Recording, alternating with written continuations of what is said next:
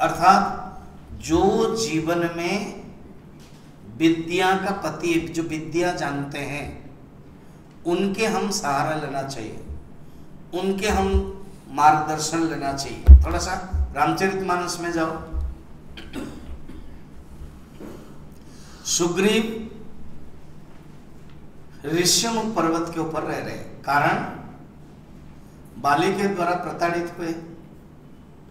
बाली बहुत अभिमानी, क्रोधित व्यक्ति है। मारा ला दर दर भटक रहा है। तो ऋष्यमुख पर्वत के जो रहस्य है, बाली को भी पता है और सुग्रीव को भी पता है। क्या है रहस्य? बाली अपने बलवान के अभिमान से मतंग ऋषि में जो ऋष्यमुख रहते थे, वो जाते थे और कोई पेड़ को हिलाते थे और उनके सामान को कहीं फेंक लेते थे, बहुत उपद्रव करते थे। मतंग ऋषि ने अभिशाप दे दिया, इस पर्वत के ऊपर आओगे, तुम्हारा धड़ से सिर अलग हो जाएगा। बाली को पता था, इसलिए जा नहीं रहा मरेगा वो। सुग्रीव को भी पता है। इसीलिए वो यहीं पर रहा कि बाली आ नहीं सकता। मगर उन्होंने और एक किया। हनुमान जी को छोड़ा नहीं। हनुमान जी साथ दिया सुग्रीव का। तो इंद्रद्युम्न के पास भी विद्यापति है। उन्होंने कहा कि आप राजा है, आपको जाना नहीं चाहिए। पहले हम जाते हैं। तो जीवन में इस प्रकार के विद्यापति जो विद्या के ज्ञाता है, हनुमान जी विद्या के ज्ञाता है तो उनके शरण में रह, रहा है सुग्रीव। और यहाँ पर भी इंद्रदम्न हमारे जीवन में भी ऐसे होना चाहिए। शरण में होना चाहिए। कोई गुरु, कोई ज्ञाता विद्यापति आते दर्शन करते विद्यापति का पूर्व जन्म का भाग्य है, वो ओरिजिनल भगवान को दर्शन किया। बाद में तो जो बनाया गया है, वो होंगे ज़रूर उस समय। ओरिजिनल जो दर्शन है, वो इंद्रदम्न नहीं कर पाए। क्योंकि लक्ष्मी ने पहले बता दिया था ब्रह्मा और यमराज को। ये जो रूप है ये अदृश्य हो जाएगा। इंद्रदम्न खुद बनाएँगे। एक दारु समत्पन्न, चतुर्था संभविष्यति तो विद्यापति का भाग्य है। विश्वास ने देखा, नहीं दिखाऊँगा, ब्राह्मण का अभिशाप हो सकता है, दुखी हो सकते हैं, राजा आक्रमण कर सकते हैं। दिखाऊँगा, भगवान अदृश्य हो जाएगा। मेरी जो परंपरा है, मेरी जो दिनचर्या है, मैं जो कर रहा हूँ, वंचित हो जाऊँगा। और मुझे लेके कुछ फ़ायदा भी नहीं। कथा में जिस समय अदृश्य हो जाते हैं, विश्व विश्व रुकते नहीं है। अपना शरीर को त्याग करते हैं। फिर रामायण आइए शबरी दर्शन करते हैं भगवान राम का। झूठा फल खिलाते और वो प्रसिद्ध भजन भी हो गया।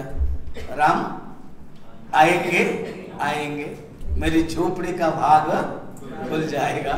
उस सबरी के लिए जिसने पहले गाया है, मनोज मुंसिर के भजन है, और नटियाल ने गाया, और स्वाति मिश्र ने भी गाया तो प्रसिद्ध हो गया। और जब पीएम ट्विटर दे दिया तो कहना ही क्या बात है। तो भगवान श्री भगवान श्री राम झोपड़ी में आ गए, झूठा बेर खा लिया।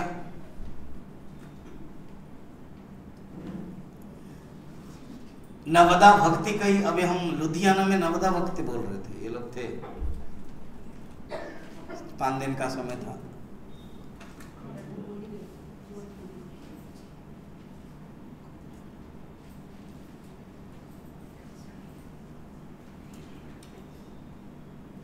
उसके बाद शरीर त्याग कर दिया सबरी। यहाँ पर भी ऐसे। विश्वावसु को फिर कथा है ही नहीं। वो आएगा, अभी हम आगे बढ़ेंगे। अभी विद्यापति दर्शन करके गए। विश्वावसु जानते हैं,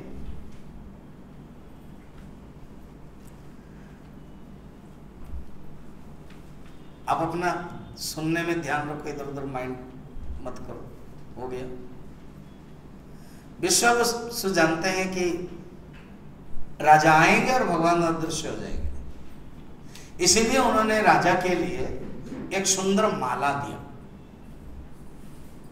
जैसा भी अब सुंदर माला लगाया गया ऐसे भगवान का लगाया गया था, उन्होंने निकाला और वो माला दिया। उस माला को लेकर के राजा तो आते समय कहते हैं, तीन दिन लगा उनको। उज्जैन मध्य प्रदेश से जगन्नाथपुरी नीलाचल। एक रात उन्होंने रुका आदि में और मैंने चर्ची, कटक में चर्ची का मंदिर देखा चंडिका देवी देखा, चित्रोत्पल नदी में स्नान किया, महानदी में स्नान किया अलग अलग तीर्थ है, फिर लिंगराज मंदिर आए अमृत एकाम्र कानन, भुवनेश्वर आए, फिर उसके बाद कपतेश्वर फिर नीलाचल पर्वत। ऐसे वो आए तीन दिन लगा। अभी क्या जाते समय तुरंत चले गए। एक रात भी वो मैं पहुँच गई अब उन्होंने सुंदर माला दिया। जब माला दिया, तब श्लोक पढ़ना। नाइन नंबर है। माला। माला मुकंद शिरसो नुपा प्रमोद।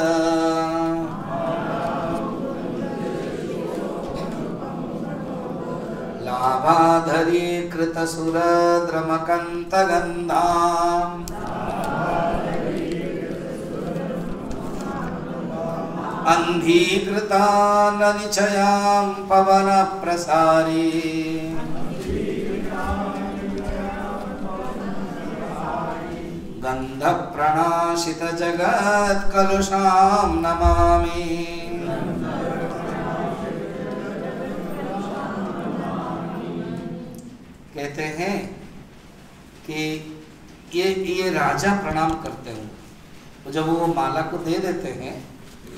तो उस माला को प्राप्त करके राजा प्रणाम करते हैं कि मैं उस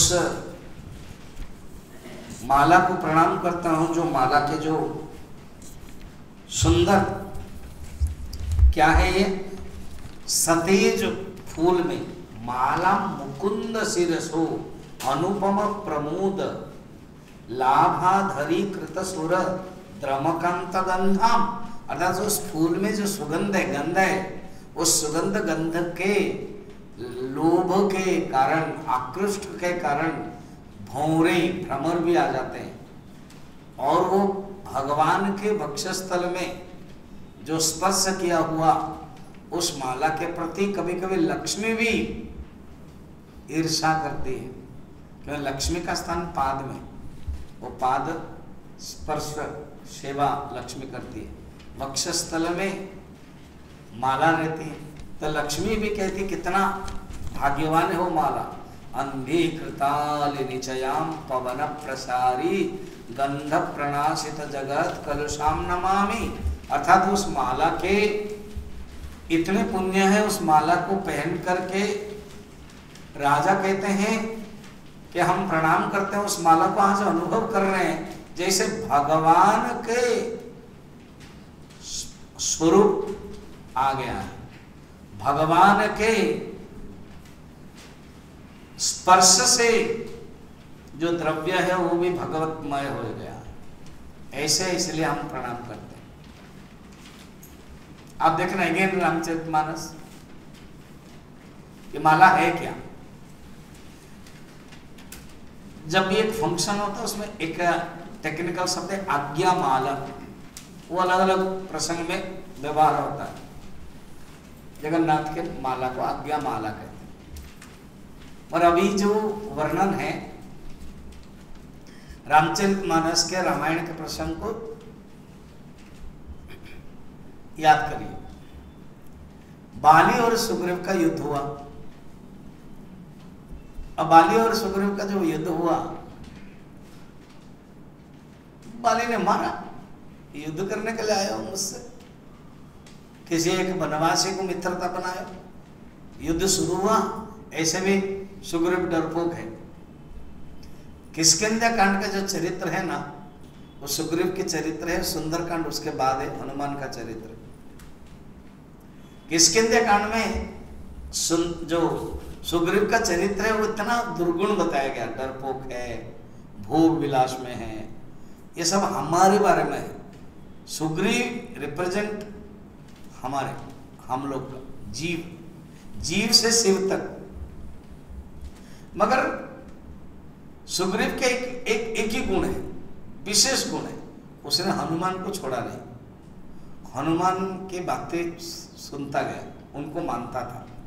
इसलिए भगवान को हनुमान लेके आए, सुग्रीव के पास। मनुष्य के पास किसी भी दुर्गुण रहे, मगर वो सत्संग नहीं छोड़ता है, गुरु की बातें नहीं छोड़ता है तो जानना वो धन्य है। वो करना चाहिए जीवन में। सत्संग छोड़ना नहीं चाहिए। गुरु की बातें नहीं छोड़ना चाहिए, सुनना चाहिए। ये सुग्रीव किया, सब माफ़, सब दुर्गुण। अब चलिए जो मेन माला की बातें आ रही अब युद्ध हुआ, गदा मारा, और उसके बाद हार गया। आके सुग्रीव कहता, भगवान, ये क्या बात है? ये देखो कौन वहाँ खड़े हो, आते, आना चाहते ना खड़े आना चाहते बंद है क्या? हार जो गया और सुग्रीव का, क्या भगवान, आपने मुझे भेजा? और बड़ा मुश्किल तो हो गया। मैं हार गया, आपने कुछ नहीं किया। भगवान ने कहा, बात ये है, तुम दोनों का जो स्वरूप समान है, पता नहीं चला कि कौन सुग्रीव है और कौन बाली है। ये क्या बात है? अब भगवान को किसी ने इस बात पर आपकी अदालत के ऊपर खड़ा कर दिया। और किसी ने कौन? रजत शर्मा ही खड़ा करेगा। भगवान, आपका नाम है सर्वज्ञ। आप भगवान हैं। आप बाली कौन है और सुग्रीव कौन है नहीं जान पाए और बोल रहे कि मैं नहीं जान पाया। ये तो बात गलत है। तो भगवान सचमुच जानते थे, मगर वो लीला कर रहे हैं। क्या? सुग्रीव के अंदर भी थोड़ा सा था, हम कर लेंगे, हम युद्ध कर लेंगे। और भगवान के चमत्कार को देख करके नमस्कार किया था, मगर जीवात्मा है ना, भूल जाता है। तो भगवान की विशेष कृपा चाहिए, बार बार देखो बताई जा रही हर कहानी में, हर कथा में अर्जुन के लिए भी भगवान की कृपा चाहिए। तो भगवान कहते मैं पहचान नहीं पाया। ना प्रभु बड़ा मुश्किल है फिर तो मैं युद्ध नहीं करूँगा। मगर एक सुग्रीव की बातें हैं जितना भी दुर्बल हो वो अपने आप को मान लेता था कि दुर्बल है। हम लोग दुर्बल हो सकते हैं हम लोग मानते नहीं कि हम दुर्बल हैं। हम अभिमानी हैं। और हम मानते नहीं कि हम अभिमानी अर्जुन सरल था, भक्तिमय भक्त था। सुग्रीव दुर्गुण युक्त था और बोलता था, प्रभु, मैं दुर्गुण युक्त क्या करे, आपकी जो माया है, वो मुझे तो ऐसे ही फंसा दिया है, खुद मान लेते थे। लक्ष्मण जैसा व्यक्ति क्रोध होकर के, क्रोधित होकर के आए और माफ़ कर दिया। तो भगवान हंसने लगे और क्या एक काम करते मैं एक माला देता हूँ। देखा, माला आई। माला पहना देता हूँ और इस माला के कारण मुझे पहचान, पता चल जाएगा तुम सुग्रीव हो। छोड़ करके उसको मारूँगा। तो भगवान पहना दिया, सुग्रीव खुश हो गए। इसका अर्थ क्या सुनो? जब तक जीवन में भगवान की कृपा आपको प्राप्त नहीं हुई है, आप भगवान के आदमी हो। जैसे अभी मैंने कैंप दिया, इसलिए कि आप एक ग्रुप के हो। ये समझना चाहिए। कैलाश आश्रम ऋषिकेश के महामंडलेश्वर विद्यानंद गिरी है। अभी नहीं है, शरीर समाधि हो गया। 2000 में जब हम लोगों के कॉन्फ्रेंस मुंबई में हुआ था चिन्मय मिशन को वो आए थे। उन्होंने एक सुंदर बातें कही है। उनके जो गीता है, वो ऋषिकेश शिवानंद आश्रम में 18 दिन का प्रवचन था, उसमें था, मैंने पढ़ा था। क्या कहते हैं? कि दो प्रकार के कुत्ते होते हैं। थोड़ा सा एग्ज़ाम्पल है, कुत्ते के बारे में सोचते ही गड़बड़ मत समझना। एक बार पीएम ने कहीं कुत्ता बोल दिया तो फिर एक घटना घट गट गई थी दो हज़ार उन्नीस या चौदह में। कुत्ता बोल दिया पिल्ला बोल दिया वो सांबादिक लोग ना बखाड़ा खड़ा कर, करा देते इसलिए अच्छा है कोई सांबादिक नहीं है यहाँ। तो उन्होंने एग्ज़ाम्पल दिया। अच्छा है कि मैं भी उन्हीं के एग्ज़ाम्पल बता रहा दो प्रकार के कुत्ते होते एक है street dog street dog street dog जिसके अंदर कोई बेल्ट नहीं होता तो जो सरकारी लोग आते हैं ना तो वो एक एक कुत्ते को पकड़ने के लिए एक नेट रहता है।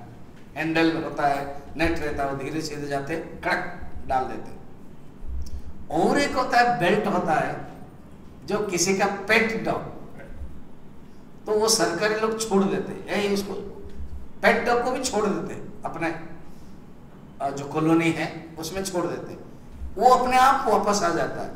वो कल की कहानी जैसी, गाय जैसी। तो सरकारी क्या करता है आदमी? जिसके पास फीता नहीं है, बेल्ट नहीं है, उसको पकड़ते हैं जिसके पास बेल्ट है, उसको छोड़ देते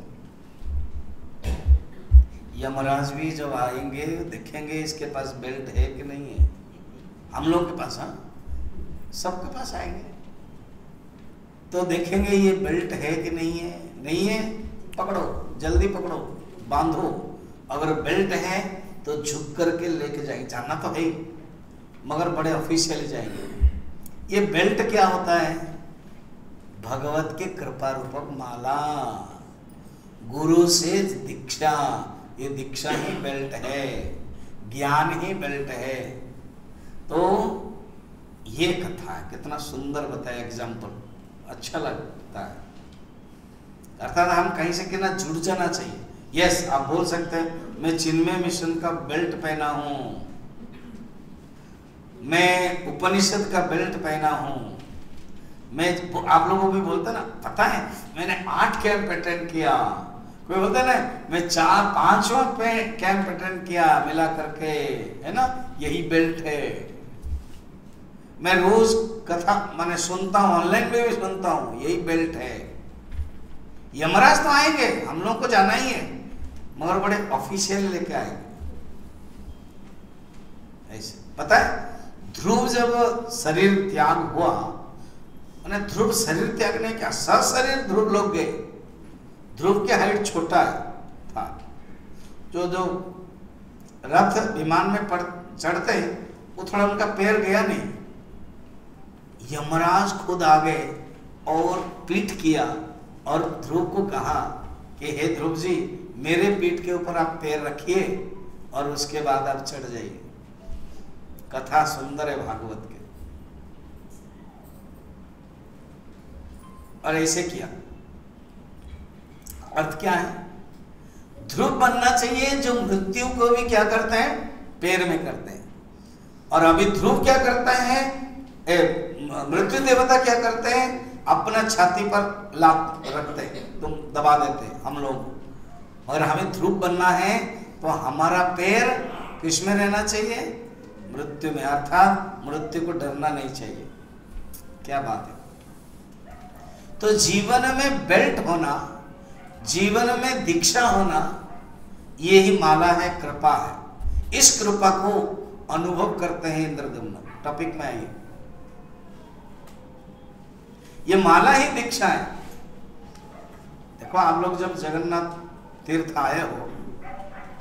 वहाँ तो जो नीचे है ना, वहाँ पर भी साठ सत्तर लोग यहाँ पर भागवत वगैरह में गया था। उन्होंने मुझे सम्मान भी दिया।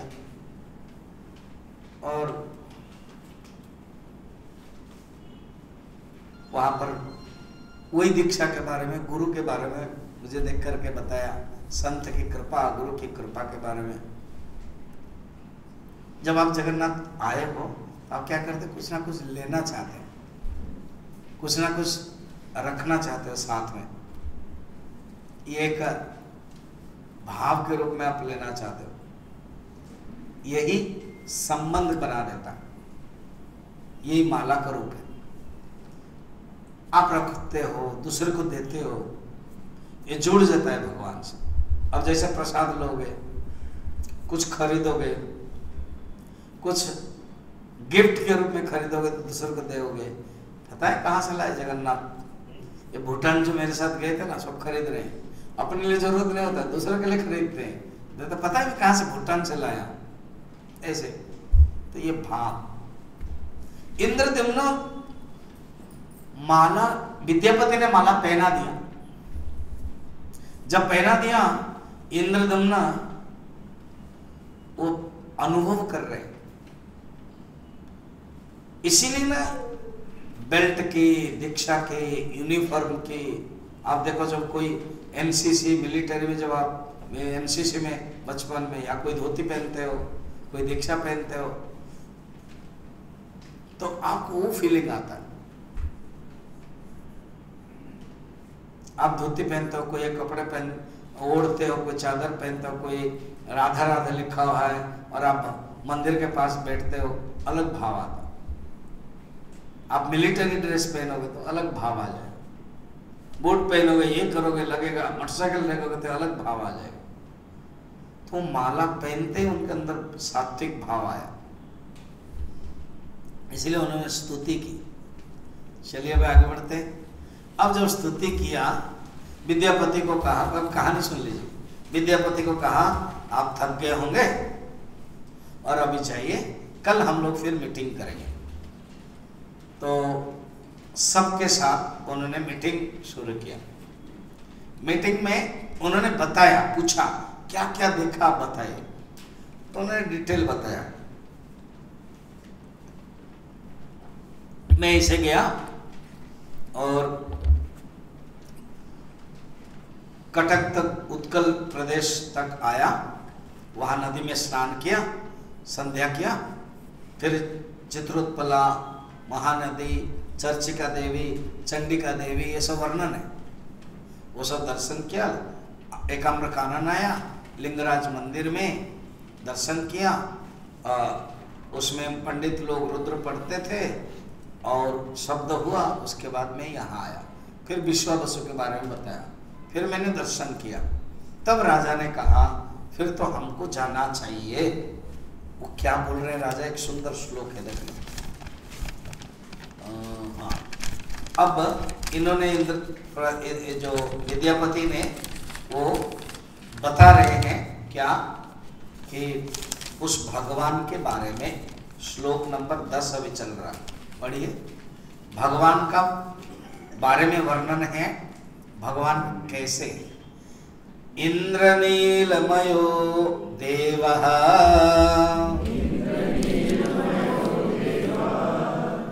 आस्ते चक्रगदाधर। एकाशिति अङ्गुलमितः।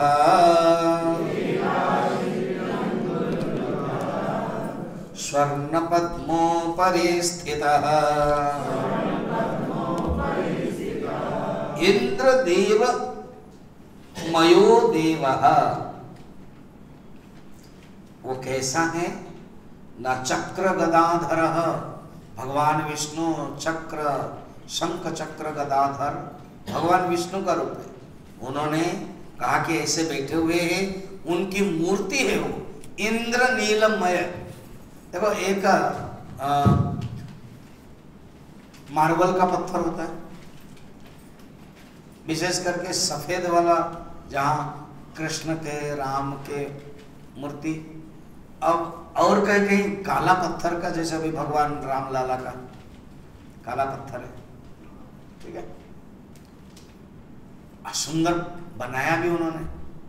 कोई तीन मिस्त्री ने बनाया था, उस अरुण योगराज जो है, उनका सिलेक्ट किया गया, जो कमेटी ने सिलेक्ट किया। बहुत सुंदर है। वो खुद बोल रहे, मुझे बनाया और प्रतिष्ठा के बाद ब्राह्मण लोगों ने जो जीवन न्यास दिया, वो भगवान अलग ही दिखाई दे रहे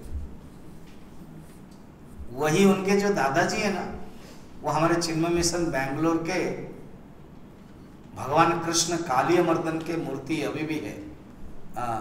नीलकंठ देवस्थान है देवस्थानम, कृष्ण देवस्थानम, बेंगलोर में। वो उनके दादाजी बनाया और जब दादाजी बनाया देखो क्या संयोग है। छोटा सा लड़का ये थे, दादाजी सवरुण योगराज को छोटे से गोद में बैठा था भगवान हमारे गुरुदेव ने उसको आशीर्वाद दिया था। वो फ़ोटो वायरल हुआ था। कितने साल पहले होगा? मिनिमम पचास साल पहले, चालीस पचास। और आज वो वो एक एमबीए के स्टूडेंट है इंजीनियर नौकरी भी कर रहे थे, छोड़ दिया। भगवान ने जिसको सिलेक्ट करना चाहते उसको सिलेक्ट करेंगे। कहा सुग्रीव बैठा हुआ दुर्गुण? और भगवान सिलेक्ट करते हैं। मालिक को हटाते हैं और उसको दाते हैं।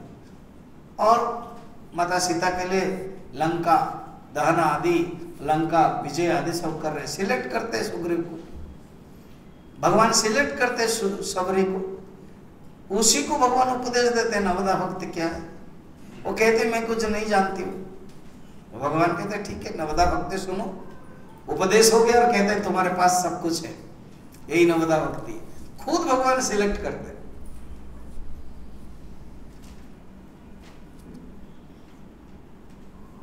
तो भगवान कैसे बैठे हैं? इंद्र, हम एक पत्थर, अनेक पत्थर होता है। काला पत्थर से ज़्यादातर, साउथ इंडिया में देखोगे कोई भी मूर्ति, गुरुवायर है, तिरुपति है, अभी लाला जी है, सब काला मूर्ति। और कहीं कहीं सफ़ेद है राजस्थान के। हमारे चिन्मय मिशन का अनेक मंदिर भी है, खुद गुरुदेव जाते थे, चॉइस करते थे। विदेश भेजा जाता था, विदेश में भी अनेक है मूर्तियाँ। और कहीं कहीं सफ़ेद है मार्बल हमारे पटियाला में भगवान राम और लक्ष्मण, सीता है, वो सफ़ेद वाला। कभी मैं आइए और या तो कभी हम कैंप करेंगे, तब तो आइए। वहाँ बीस बाईस लोग रह सकते हैं। और बाकी डिवोटिस के घर में हो जाएगा तो चालीस हो जाएगा। तो वहाँ सफ़ेद है। अनेक अनेक मूर्ति होती, माने पत्थर धातु होते. एक धातु है इंद्र नीलमय वो शब्द में बताने के लिए इतना बोल रहा इंद्र नीलमय धातु है सफ़ेद वाला है. इनके मूर्ति है इंद्र नील मणिमय और उनका जो परिणाम एकाशति अंगुली 81 अंगुली का मूर्ति है. अर्थात कहीं ना कहीं तो मूर्ति होना ही पड़ेगा. तो भगवान ऐसे है और जीवंत है. चेतना युक्त है। स्वर्ण पद्म के ऊपर बैठे हैं और आगे है बहुत सुंदर उनके दर्शन से ही समस्त ताप जो है नष्ट हो जाता है। ऐसे विद्यापति ने बताया। जो मीटिंग चल रहा था, अब राजा ने डिसाइड कर लिया कि मैं कुछ आपको सबको राज्य में डिक्लेयर कर दीजिए। सबसे लिया ग्रहण किया, विद्यापति से सुना, क्या डिक्लेयर किया, उन्होंने एक डिसीज़न लिया। क्या डिसीज़न लिया, देखिए, श्लोक नंबर ग्यारह। सर्वात्मना हम यस यास्यामी। राज्येन सुसमृद्धिना। तत्र वासं करिष्यामि। पूर्वदुर्गाणि चैव कहते हैं राजोचित समृद्धि को लेकर के मैं सोच रहा हूँ वहीं जाऊँगा। कथा है इसे, यहाँ पर भी।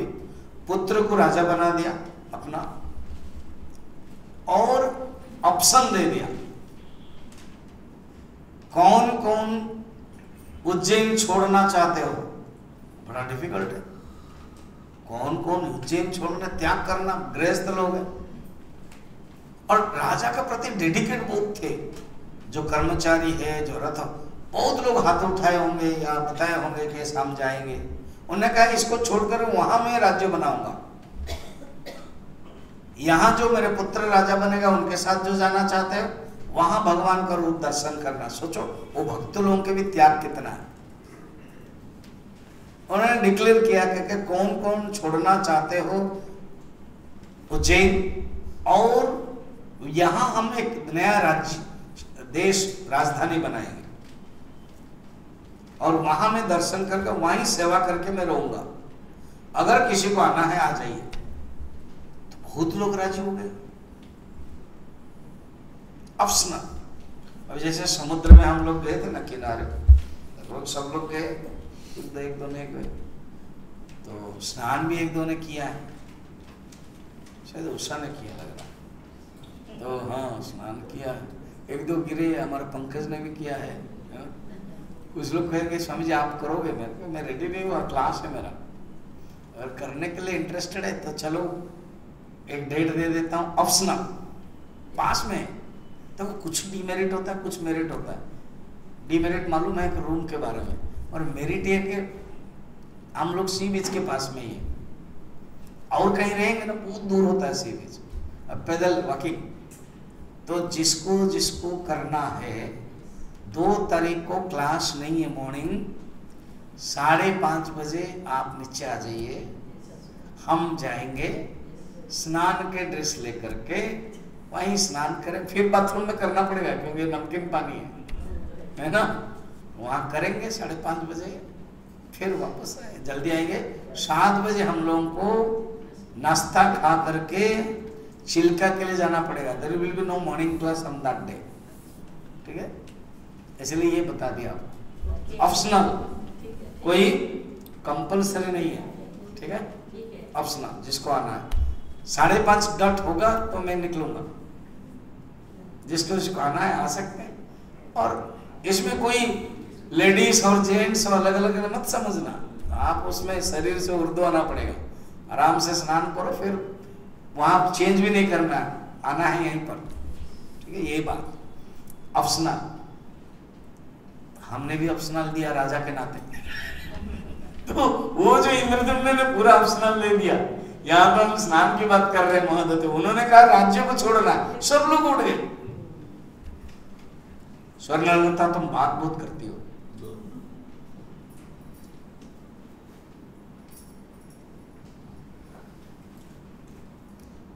हम ना एक सेकंड में पकड़ लेते हैं कौन क्या करता है। एक तो ऊपर बैठते हैं ना, और मेरी आँखें बहुत तेज है। ध्यान से सुनो, आवाज़ नहीं। आप अपने खुशी को ज़ाहिर मत करो, दूसरे को पड़ोस को क्लास में मत करो। बाद में करोगे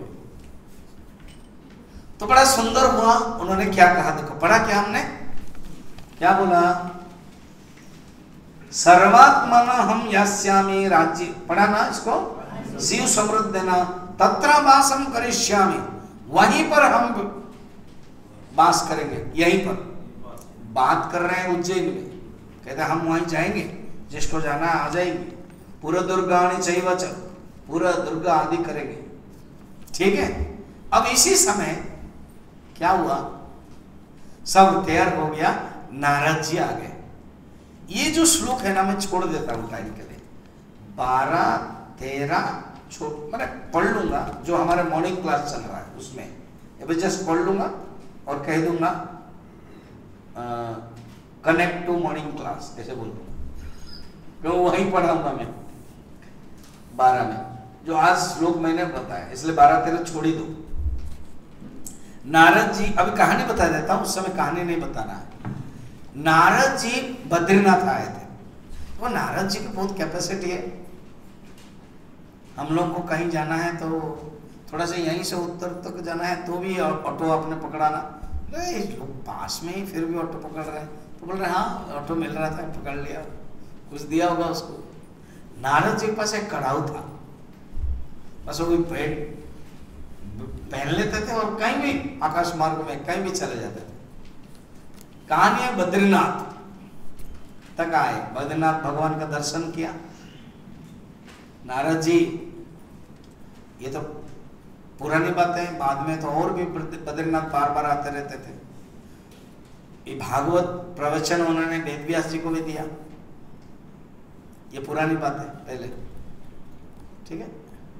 ये सप्तम मनवंतर अभी जो भागवत हुआ, पहले मनवंतर की बात चल रही है। तो नाराज़ जी आके दर्शन किया। नर नारायण तो पहले मनवंतर में है। दर्शन करने के बाद तुरंत एक ट्रंकल आया। इमरजेंस कॉल आया नारद जी को। कौन? फादर। गॉड फादर बोलते हैं ना, ब्रह्मा। कहते हैं, नारद, ना। तो ये सब विचार तरंग में हो जाता है। तुम इंद्रदुम्न के पास जाना। तो ये नारद जी तुरंत इंद्रदुम्न के पास आते हैं। और कहते भी मैंने सवेरे बताया था इंद्रदुम्ना को देख, मैंने इंद्रदुम्ना नारद जी को देखते ही कितना सब सेवा किया, वो सब बताया था। तब ये दो श्लोक है, जो हम कल मॉर्निंग में देखेंगे, इसको मैं छोड़ रहा हूँ। कल देख लेंगे उन्होंने जो, सवेरे जब इतने बताया था कि मन, गृहस्थ का भाग्य है, कोई साधु आएँगे। तो नारद जी आते हैं। ये दसम अध्याय शुरू हो गया। उसमें उपदेश है, अब आगे क्या हुआ सुने। नारद जी रुकते भी कहते ठीक है, मैं तुमको लेके जाऊँगा। क्योंकि मुझे पिताजी ने कहा, जब तक इंद्रद्युम्न प्रतिष्ठा नहीं किया है यू बी देयर तुम रहो। इसलिए मैं रहूँगा। और स्पष्ट भी बता दिया, पिताजी ने भेजा है मुझे। ये हर चीज़ ना एक आ, भगवान के एक डिवाइन कनेक्टिव से होता है। एक संयोग से होता है। अगर आप अनुभव करेंगे अपने जीवन में आप देखोगे कि आपके आना आपके जाना आपके बेटा बेटी के शादी कुछ भी सब डिवाइन कनेक्शन डिवाइन ये देखने की चीज़। है ये अनुभव करना। तो नारद जी बोलते पिताजी ने मुझे भेजा, मैं यहाँ रहूँगा। फिर उपदेश को हम सवेरे देखेंगे। अब क्या हुआ? चल पड़ते। अब तैयारी होती तो नारद जी खुद ज्योतिष आचार्य, उन्होंने एक दिन तिथि को देखा। डिक्लेयर भी हो गया, सबके अंदर उत्साह है। अब चलिए हम अगेन भागवत एंड रामायण में आते हैं। यहाँ भी उत्साह है। रामायण में उत्साह है, मगर दुखपूर्ण विरह का भगवान राम जब वनवास जाते हैं, तब सब अयोध्या के पूर्व उनके पीछे पीछे चलते उत्साह एक्साइटेड है, मगर दुख के साथ। फिर भगवान क्या करते हैं, रात में पहले दिन तमसा नदी के किनारे श्रृंगवीरपुर जाते हैं। वहाँ रुकते हैं। और भगवान कहते हैं, इनके देखो, उत्साह होना चाहिए, होश होना चाहिए, मगर एक भावुकता के साथ नहीं होना चाहिए। उनका अपना जो कर्तव्य है, जो रिस्पॉन्सिबिलिटी है, वो के एक प्रजा के नाते रहना चाहिए। मगर वो क्या किया? राम के प्रति प्रेम के कारण भावुकता हो गई, भावना हो गई। सपोज़ यहाँ आप डेलीगेट बन करके आए हो। नहीं मैं तो मंदिर दर्शन करूँगा ही। तो आपको भावनात्मक नहीं होना चाहिए। मुझे किसी ने बोला, स्वामी जी, हम लोग का ना जगन्नाथ प्रसाद खाने की इच्छा मतलब डोंट वरी पहले से प्लानिंग है। डीपी बोल रहे थे मुझे डीपी सर हम लोग गुरुवार के दिन, आज मंगलवार है, गुरुवार के दिन प्रसाद आएगा। रात को क्लास के बाद वहाँ जो हॉल है, नीचे वाला वो व्यवस्था करेंगे। क्योंकि जगन्नाथ के प्रसाद नीचे बैठ करके खाना पड़ता है। तो 10-15 मिनट 10 मिनट खाने के लिए लगता है। नीचे बैठना पड़ता है। अगर बिल्कुल कोई बैठ नहीं पाएगा इट बी इम्पॉसिबल देन छः सात चेयर रखा जाएगा। उस चेयर में आप बैठोगे, आपका हाथ लेकर के खाना पड़ेगा। ये नियम है। या जो डाइनिंग हॉल है, वहाँ नहीं होता है। होगा नहीं। ठीक है? वो है। इवन गजपति महाराज जब आते हैं, खाते हैं, वो भी नीचे बैठते हैं। सब और वो भी आसन में नहीं है। वो बड़ा जो महाप्रसाद के सम्मान देने के लिए जो रूल है, आप आनंद बाज़ार में जाओगे, वहाँ नीचे बैठना पड़ता है पत्थर में। और एक दूसरे को खिलाते हैं। मेरे तो बचपन में कभी होगा जो ब्रह्मचारी बन के आया, कोई एक माँ मुझे लेके आई थी। और हम दोनों थे, और एक थे कोई परिवार। बैठे, फिर एक ही पत्तल में खाया जाता है। फिर वो मुझे खिलाया, मैं भी उनको खिला, वो अलग आनंद है। वो झूठा है, कोई भी आएगा तो और कोई खड़ा है तो उसको भी देना है। ठीक है? तो ये संस्कार है, आपको पता चलेगा। या प्रवचन के समय अगर टाइम मिलेगा तो मैं उसका भी मैं बताऊँगा। महाप्रसाद की महात्म्य वर्णन है। ठीक? मैं ये कह रहा था कि हर चीज़ का डिवाइन कनेक्ट आप सोचो। हर चीज़। अनुभव करना। अब उन्होंने तिथि किया सब लोग निकले। सब लोग जो नृत्यंगना लोग घोड़े वाले रथ वाले मिस्त्री वाले तैयार करने वाले सब लोग पालकी में और उनके जो दे, दे, इष्टम देवी है उनको भी पालकी में बैठाया गया। नारद जी को फिर बैठाया गया। राजा बैठे पालकी में। तो इस प्रकार के बहुत सुंदर में आए। अब सेम जो विद्यापति ये नारद जी तो खुद जानते हैं। रास्ता। ही नोस एवरीथिंग उनके ही अनुसार। और विद्यापति अभी अभी आए हैं फ्रेश है। रास्ता बताओ। तो वो बता रहे हैं। सेम स्टाइल है। वो आए, कटक आए जैसे जैसे बताया गया है। अब एक जगह पर, जहाँ नीलाचल यहाँ पर वह आसपास में उन्होंने अपना तंबू, टेंट, दुर्ग तुरंत बन जाता है। बनाया ऐसे एक हॉल भी बनाया, राज मंत्री लोग भी आए हैं, सबके अंदर भावना है। सोचो तो ये सत्ययुग की बात है।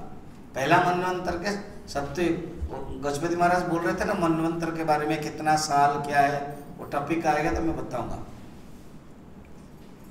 तो सब पहला मनवंतर के बाद सब कुछ हो गया, बैठे हैं।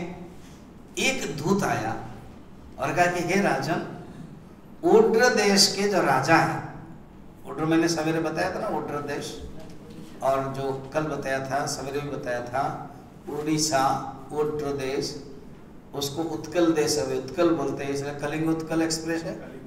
हाँ। जब ये लोग आ रहे थे, कलिंग उत्कल ये बोल रहे थे, राइट टाइम है तो मैं हंस रहा था। कलिंग उत्कल कभी भी राइट टाइप नहीं होता है। और ही छह घंटा का रेट हो गया।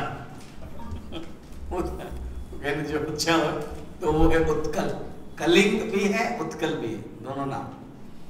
तो तुरंत खबर दे दिया क्या कि उत्कल देश के राजा है तो उड़ गए हो इंद्रदम्न इंद्रदम्न चक्रवर्ती, सम्राट चक्रवर्ती।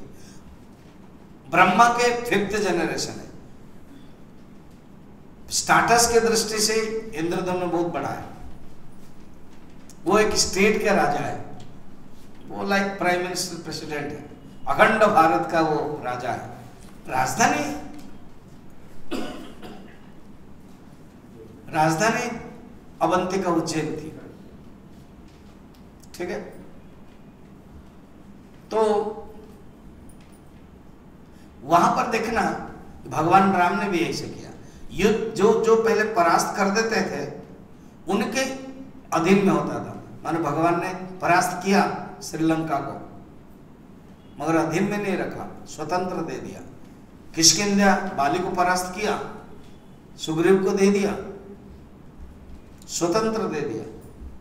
ये भगवान की शैली, यहाँ पर भी ऐसी। इंद्रदम्न सर्व चक्रवर्ती है।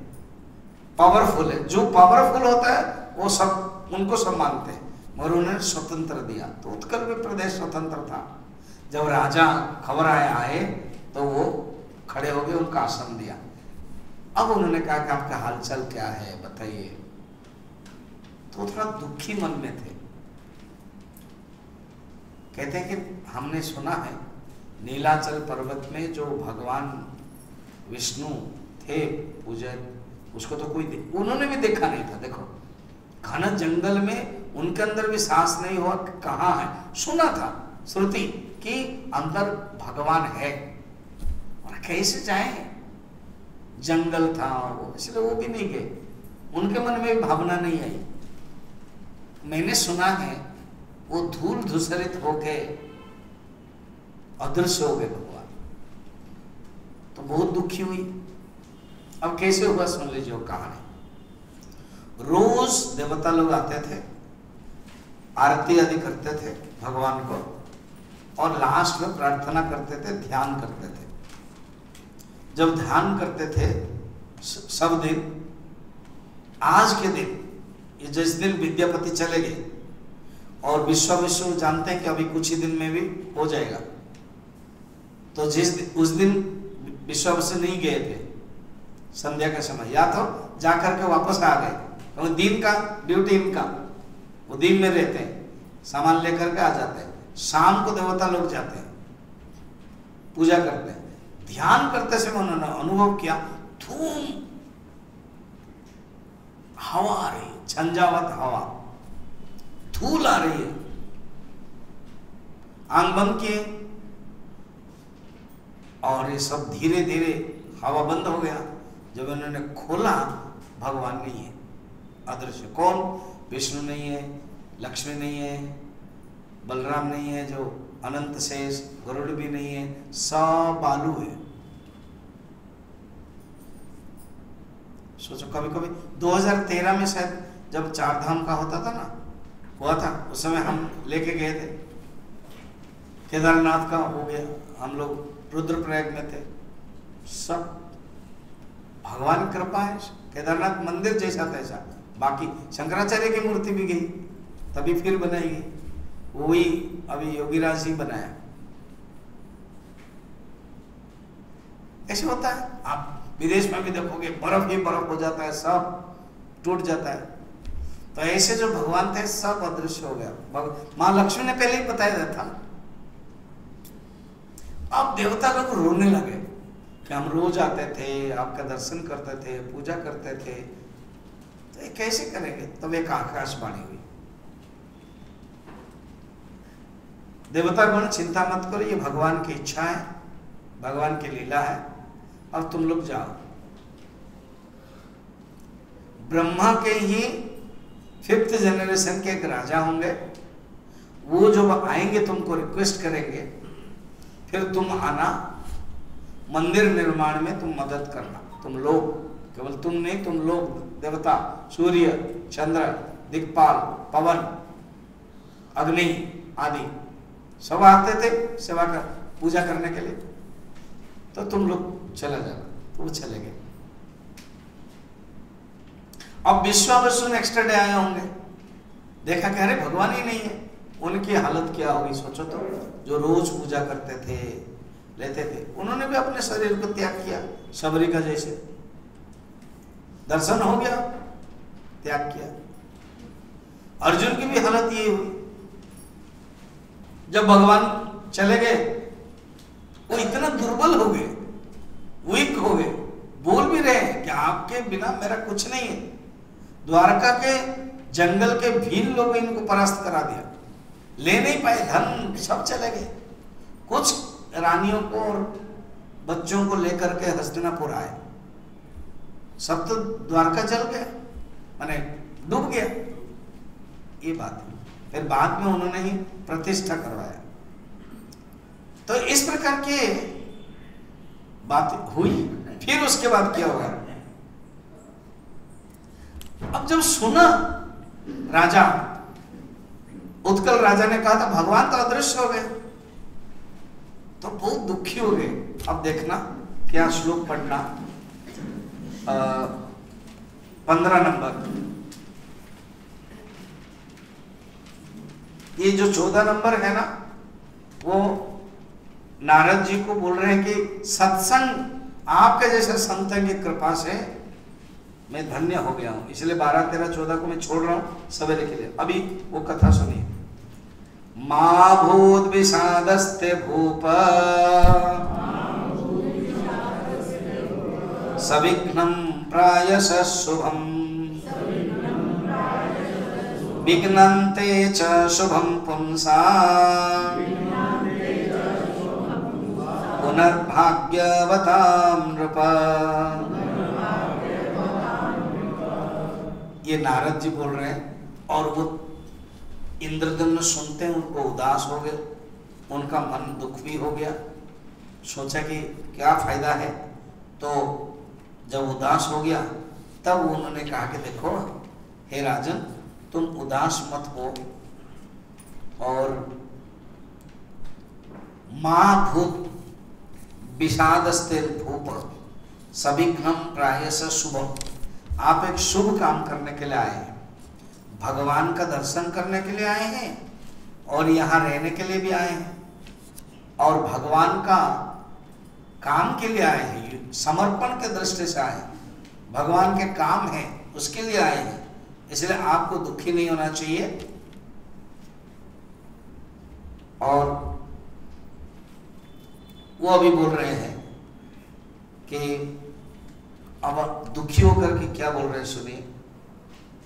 कि मेरा जीवन खराब हो गया है, मेरे परिश्रम सब व्यर्थ हो गया है, वो बता रहे और सेंसलेस हो गए। माँ भूत भूपम सविघ्नम प्राय शुभ, विघ्नास्ते शुभम पुंसम पुनर्भाग्यवता नृपम अर्थात जिसका पुण्य है, वो पुण्यवान अशुभ के समय धैर्य रखना। धैर्य रखना है और पुण्य के कारण फिर हो जाएगा। अभी आप एग्ज़ाम्पल कल जब आप आए, कुछ ना कुछ रूम ये, से, वो थोड़ा सा आपको डिस्टरबेंस हो गया और आप सेटल हो रहे हो ठीक है क्योंकि आपका मुख्य लक्ष्य क्या है? भगवान का दर्शन, सत्संग। फिर उसके बाद धीरे धीरे वो शांत हो गया। इसी प्रकार नारद जी कह रहे हैं, तुम्हारा सुनते ही राजा से तुम दुखी हो गए। सोचो तो एक दर्शन करने के लिए सब कुछ त्याग किया, राज्य त्याग किया। यहाँ आने के लिए वो है ही नहीं, दर्शन नहीं कर पा रहे। कहते हुए आगे तो मैं बोलूँगा, मूर्छित भी हो गए। बात करते करते मूर्छित हो गए। सेंसलेस फिर नारद जी ने पानी मंगाया। लिखा है, नारद जी, उन्होंने उनको प्यार दिया। तो ये गुरु है। उनको पंखा किया। सेवक सेविका लोग आ गए, तुरंत पंखा किया। फिर क्या है नेक्स्ट श्लोक देखना। प्राणान रक्षन नृपते।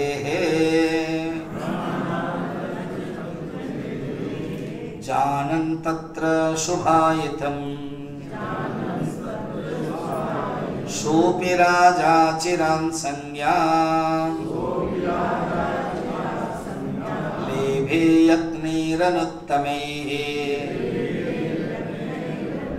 प्राणन रक्ष, उन्होंने रक्षा किया कौन? नारद जी ने। इंद्रदुम्न के प्राण हाँ जीवित चल रहा है, साँसें चल रही है कभी कभी घटना घट जाती है ना। हार्ट अटैक तो नहीं हुआ, प्राण तो बंद नहीं हुआ। तो उन्होंने पानी दिया, पंखा किया, मंत्र गाए। मंत्र में पावरफुल है। भागवत में भी ऐसे ही है, नारद जी जब भक्ति के दो पुत्र थे, ज्ञान और वैराग्य, उनके गोद में ही सो गए थे, बुढ़ा हो गए थे तो उन्होंने मंत्र किया, उड़ उड़ गए, फिर सो गए। फिर नारद जी ने सोचा, ये वेद मंत्र काम नहीं आ रहा, पुरुषोत्तम काम नहीं आ रहा। पुरुषोत्तम गाया, ओम सहस्र शेर शाह पुरुष, सहस्राक्ष सहस्रपाल ऐसे गाया उठ गए।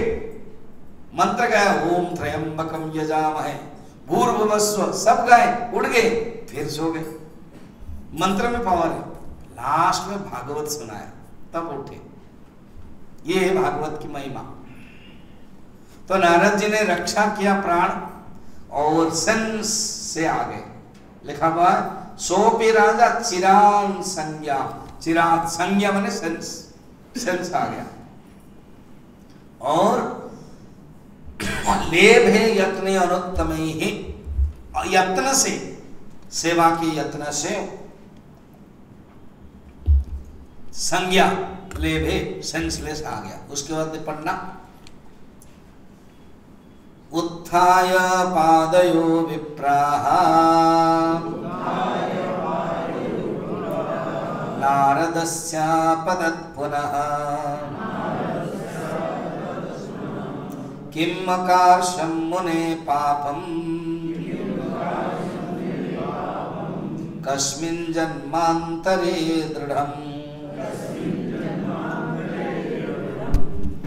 हे गुरुदेव, क्या मेरे पूर्व जन्म में कुछ पाप था क्या? कि मैं भगवान का दर्शन नहीं कर पाया? ये विद्यापति तो भाग्यवान है। विद्यापति आए थे ना? तो ये तो भाग्यवान है, उन्होंने दर्शन किया और मैं दर्शन नहीं कर पाया। तो कहते नहीं, कुछ भगवान के एक अलग लीला है। उनका अपना एक स्कीम है, उनका अपना एक प्लान है। माक्रो का एक डिवाइन का एक प्लान होता है डिवाइन प्लान ऐसे उसमें चलो, चिंता मत करो। इसलिए चलो और आगे देखो। तो अभी आगे जब चले ऊपर तो कहते हैं, नारद जी ने सब दिखाया। ये जगह जहाँ भगवान थे, ये जगह यहीं पर ही भगवान अदृश्य हो तुरंत इंद्रदम्न प्रणाम किए, दंडवत होकर किया कितना। वो जगह प्रसिद्ध है, यहीं पर ही मंदिर बनेगा। आकाशवाणी हुई चलिए थोड़ा सा रामचरित मानस में जा रहे क्या? भगवान राम द्वितीय दिन, पहला दिन तमसा नदी, द्वितीय दिन श्रृंगवेरपुर में रहे। श्रृंगवेरपुर गाँव नहीं गए बाहर रहे सिंसपा वृक्ष के नीचे, डाली, पत्ते ला करके बिछाने के लिए कहा, और बिछाया गया। भगवान राम सोए, माता सीता, उनके पैर के दबाने के बाद पैर के पास चरण अपना सिर रख करके सो गए। थोड़े से दूर में लक्ष्मण जी वीरासन में खड़े रहे। सोएँगे नहीं। उसे सब के निषाद राज भी बैठे, खड़े। उसमें उन्होंने प्रश्न पूछा। अब बात तो आगे बढ़ी भगवान चल पड़े नेक्स्ट डे वो जगह है। भरत जी जब आए, तब दिखाया उन्होंने कि इसमें सोए थे। तो भरत जी पूरा प्रणाम करते दंडवत, कि जिस जगह पर भगवान सोए हुए हैं, ऐसे ही यहाँ पर, ये बात की बात है इंद्रदेव ने पहला तो वो जगह देख करके यहाँ पर ही इतने भगवान थे, दंडवत प्रणाम करते फिर उनको आकाशवाणी होती आकाशवाणी ये होती है, उसके पहले लिंगराज मंदिर में भी आकाशवाणी भगवान शंकर ने किया था, जब दर्शन किया, कि हे इंद्रदम्न तुम भगवान का दर्शन करोगे, एक हज़ार अश्वमेध यज्ञ करो। यहाँ पर एक इंद्रदम्न सरोवर है।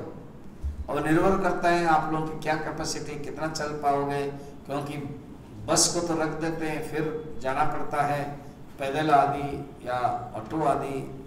तो उसमें नहीं तो इंद्रदम्न सरोवर है तालाब तो दर्शन करने के लिए बताया गया था।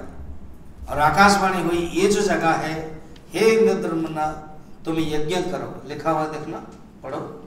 इंद्रदुम्न सैदानिम। क्षेत्रे श्री पुरुषोत्तमे अश्वमेध सहस्रेस्तो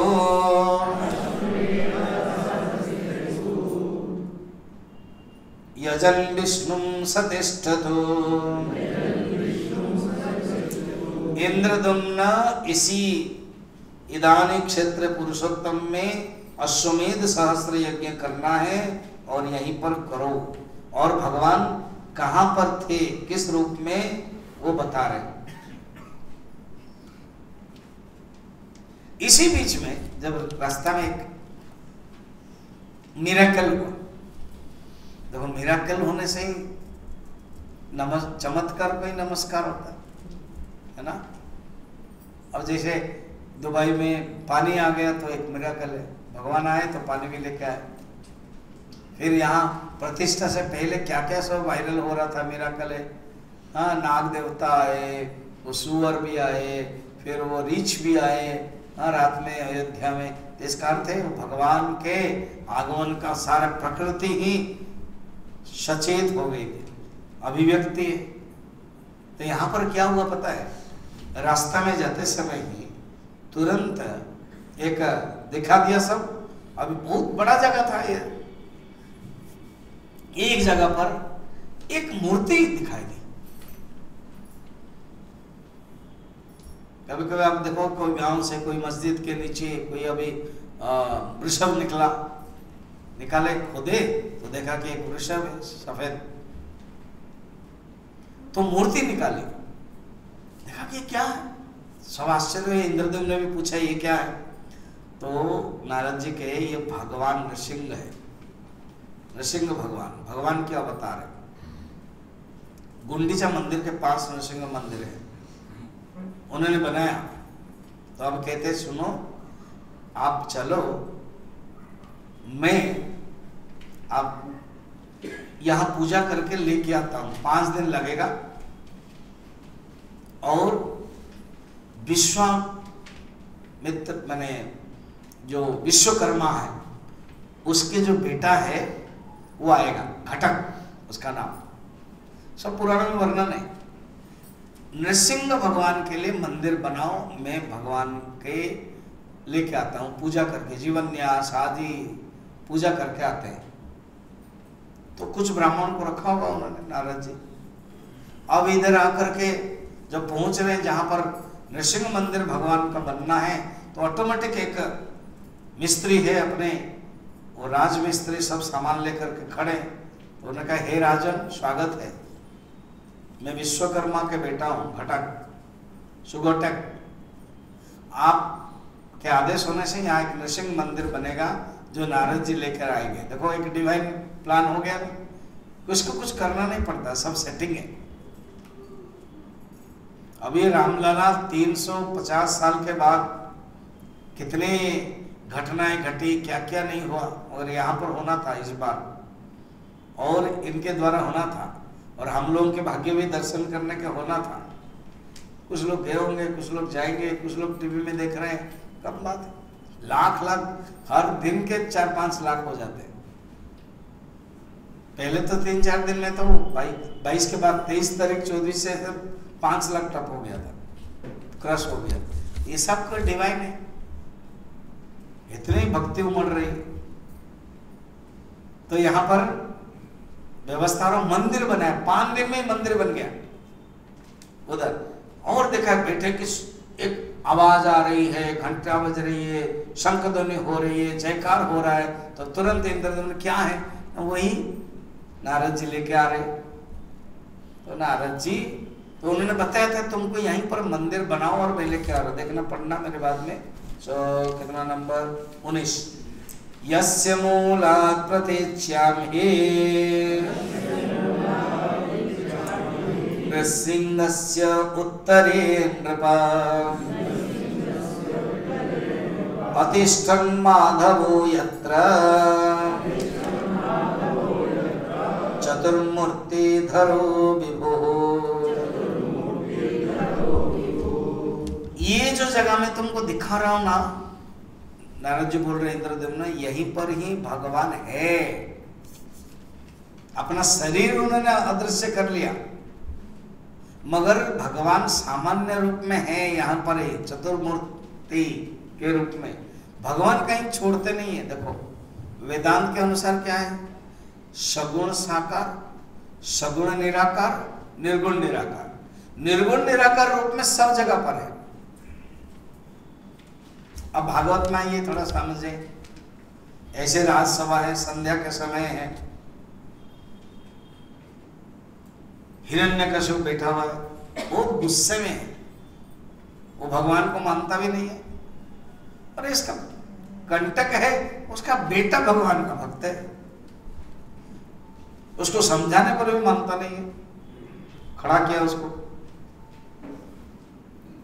मैं तुमको बोलता हूँ, भगवान विष्णु का नाम नहीं सुनो, तुम फिर कर रहे हो। पिताजी, वो डायलॉग बड़ा सुंदर है।